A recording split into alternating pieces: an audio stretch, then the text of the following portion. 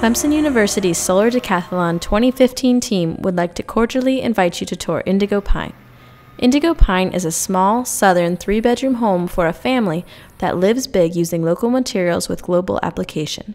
It focuses on user friendly technology and innovates within existing systems. We welcome you to Indigo Pine. The primary material of indigo pine is plywood, a renewable and natural resource with low embedded energy. Indigo pine will be constructed using inspiration from traditional wood framing techniques, but utilizing the new construction method SIMPLE. Developed by Clemson's team, SIMPLE is a set of CNC routed plywood pieces that can be constructed with only man powered tools. The house includes all the traditional elements of a Southern home, but rewrites the vernacular to, to create a home for modern, sustainable living.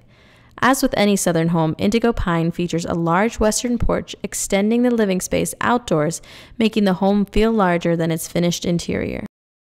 The largest interior space features the kitchen, dining area, and living room. Only the cabinets define the interior spaces, allowing for no wasted space and ample storage within the small home.